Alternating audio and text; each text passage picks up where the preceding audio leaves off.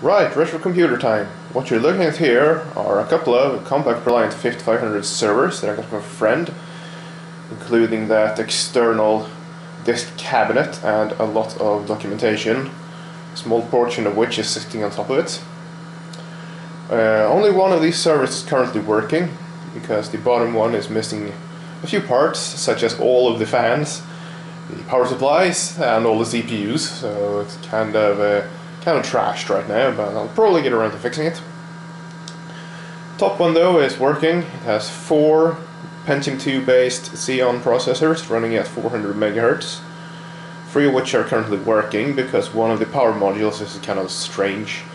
It doesn't really run properly. It has 768 megs of RAM and nearly 85 gigabytes in uh, RAID 5 storage across these 18.2 gigabyte SCSI drives. Um, it is sitting in a custom enclosure built for them. Uh, scrap wood, just some old plywood and uh, casters.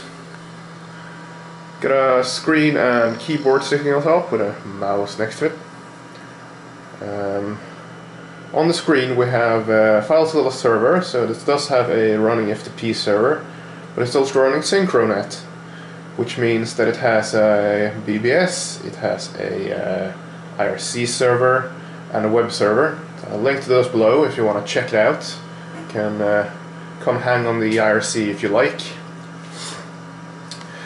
Right, moving on, we have a uh, Toshiba T5100 with a really, really bad refresh rate on the screen.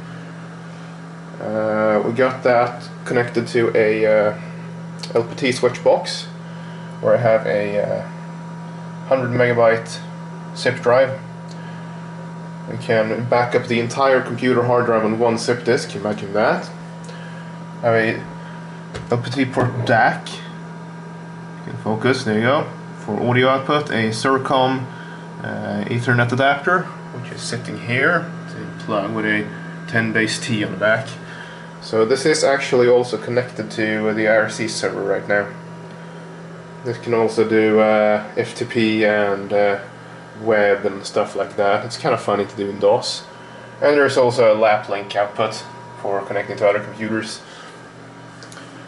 And this is my trusty old PT100. It's a VT100 clone from Plessey.